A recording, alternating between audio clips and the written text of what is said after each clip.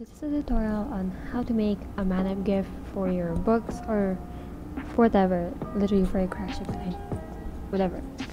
So first, open up your your two GIFs that you want to use. So I'm just using these two. Preferably, I like to choose something which has a lot of space to one side, so that it will be a lot easier to, you know, manipulate, and also one with which is longer like you know how these to look. I don't know how to describe it man. Um, so first you just close one of the folders of any of the chosen gifts you want. Preferably i like to bring whichever has the smaller resolution whichever has the smaller re resolution as the one i will be using as the base thing. So first we'll close this one and then we'll drag it. But you can also do duplicate into and then you can choose the name of the second GIF. So also I don't know. I think I'm switching between GIF and GIF. Excuse me for that. And just free transform it to literally however you want I'm just gonna do this. Slate slate honestly and you can check if it's okay or not by oh. You can check if it's okay or not by you know doing that. If you want to move it you get the top part or like you know the layer you want.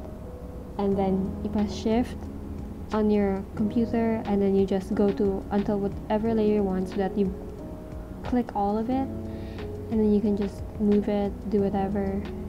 So there. And I'll just move this more to make it more proportionate. Yeah alright. So now we're gonna make sure that you're on the folder and says pass through. And then you click this which adds a raster mask or you can also excuse me. I don't think I know what I'm doing. Okay just click this button.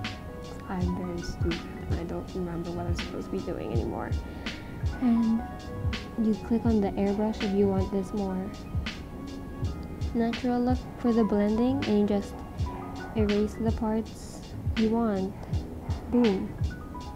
And now you can edit it even more make more adjustments etc etc up to you. Um there we go. And if you're happy with how it looks I'm just gonna yeah. You can check also how it looks by that.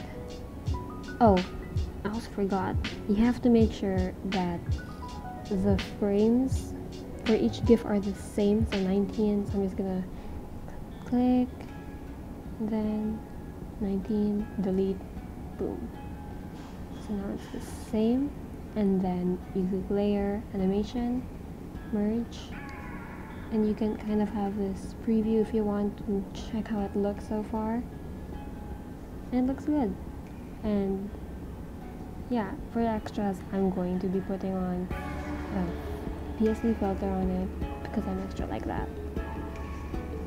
So this is not necessary but yeah this is how you do it. In Photopea Photopea? Photopea I don't know. Anyways this is how the gift turned out and I hope this helped you. Even though it's probably like 3 billion minutes long because of my rambling. Alright.